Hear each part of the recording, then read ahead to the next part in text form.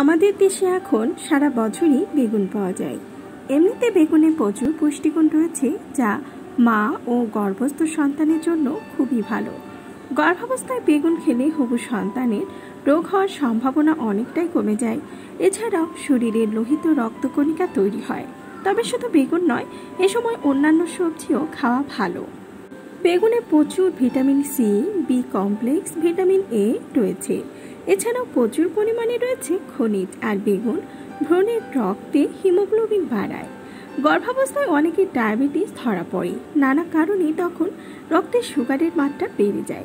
তখন যদি প্রতিদিনের খাদ্য তালিকায় বেগুন রাখা যায়, তাহলে কিন্তু ভালো ফল পাওয়া যায়। তবে সেটি সীমিত পরিমাণে।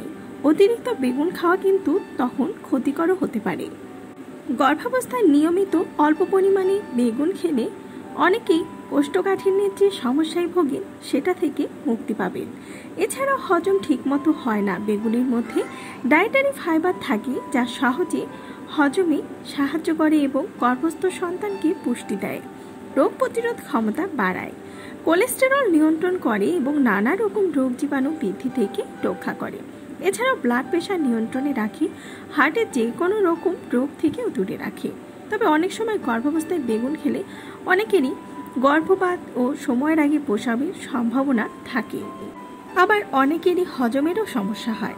তাই বেগুন খেলেও চিকিৎসকের পরামর্শ নিয়ে পরিমিত পরিমাণেই খাবেন।